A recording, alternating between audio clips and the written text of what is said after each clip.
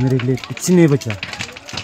न खाने के लिए थाली, न रहने के लिए बिस्तर, कुछ नहीं। है जनपद उत्तरकाशी बड़कोट तहसील के पिंडकी गाँव में आग लगने से एक तीन मंजिला मकान जलकर खाक हो गया है।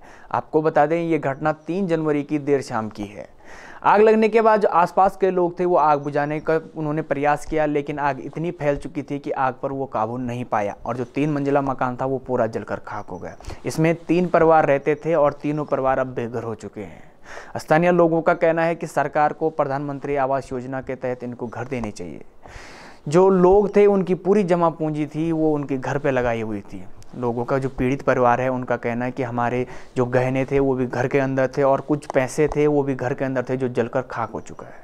पीड़ितों का कहना है कि अब हमारे पास रहने के लिए कोई आश्रय नहीं है और ना ही खाने पीने का कोई सामग्री है।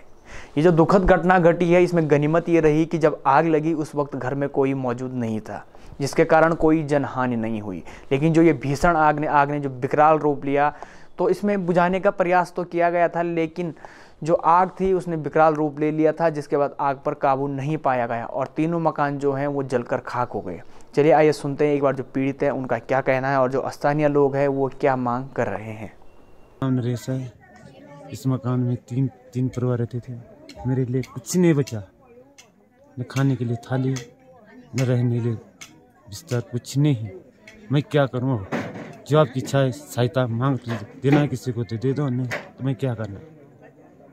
बस, ये आपकी इच्छा है। जैसे कि आप सब विदित हैं जो कल भीड़ क्षेत्र के ग्राम सभा पिंटकी में आग जली हुई, उससे पिंटकी में एक तीन मंजिला मकान जो था, वो पूरी तरह आग में जलकर खाक हो गया और इस मकान में जो तीन परिवार रहते थे, वो पूरी तरह से बर्बाद हो चुके हैं और अब उनके पास न रहने का कोई ठिकाना है और न कुछ खाने का कोई साधन है।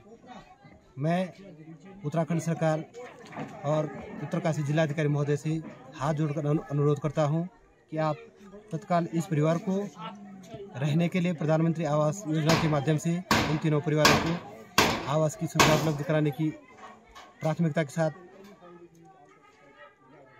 मकान देने की कृपा करेंगे और अन्य जो भी आवश्यक उचित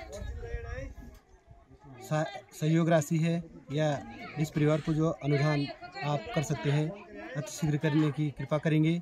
और अन्य क्षेत्र के जनप्रतिनिधियों शासन प्रशासन और प्रबुद्धजीवियों, जो लोग इस दुख की घड़ी में इस परिवार की मदद करना चाहते हैं, उनसे भी मेरा हाथ जोड़कर मैं गुहार लगा रहा हूँ कि आप आएँ और इस दुख की घड़ी में इस परिवार के साथ खड़े हों और इस परिवार को गाँव के साथ और समाज के साथ उठ बैठ, उठने बैठने लायक हम बनाएँ और हम सब इस दुखी घड़ी में इस परिवार के साथ खड़े हों।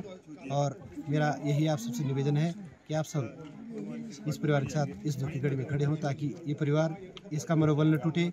हम इनके साथ इस दुखी घड़ी में खड़े रहेंगे। ये जो तस्वीरें हैं, ये निश्चित तौर पर दिल को दहलाने वाली हैं। लेकिन पहाड़ों में कई बार जो व्यवस्थाएँ हैं, वो न होने के कारण आग पर काबू नहीं पाया गया। आग पहाड़ों में अक्सर जो फायर सर्विस है, वो उपलब्ध नहीं होती है, जिसके कारण जो घर है, वो जलता जाता है और लोग देखते रहते हैं। क्योंकि लोगों के पास कोई ऑप्शन नहीं होता है कि वो इस आग पर काबू पाए, पा सके।